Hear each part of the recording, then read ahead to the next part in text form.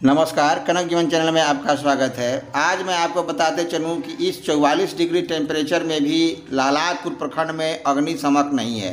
अगर कहीं आग लगती है तो आपको फायर ब्रिगेड गाड़ी अग्निशमक गाड़ी आते आते यहाँ पूरा गाँव स्वाहा हो सकता है। जैसा कि मैं आपको बताते चलूँ कि कल जो गोयानार में आग लगा है तो वहाँ फायर ब्रिगेड महाराजगंज से मंगाया गया।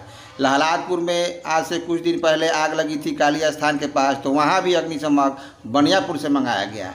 यहाँ मुख्यालय है, लहलादपुर प्रखंड का ये मुख्यालय है, वहाँ एक भी अग्निशमक गाड़ी नहीं है। आखिर क्यों नहीं है? ये बहुत बड़ा सवाल है कि इस गर्मी के मौसम में भी यहाँ फायर ब्रिगेड नहीं है यहाँ अग्निशमक की गाड़ी नहीं है, अगर भयंकर आग लग जाती है तो उसके बहुत बड़े दुष्परिणाम आपको देखने को मिल सकते हैं। चौवालीस डिग्री टेम्परेचर होने के बाद आग की संभावनाएँ बढ़ जाती है, और तब भी शासन प्रशासन यहाँ सतर्क नहीं है। ये बहुत बड़ा एक चूक है, ये बहुत बड़ी एक भूल है। प्रशासन की, शासन की ये बहुत बड़ी नाकामी है। प्यारे दोस्तों, इस वीडियो को ज़्यादा से ज़्यादा शेयर कीजिए लाइक कीजिए, और कमेंट करके हमें बताइए कि क्या इसमें अग्निशमक यहाँ होना चाहिए, प्रखंड मुख्यालय में कि नहीं होना चाहिए।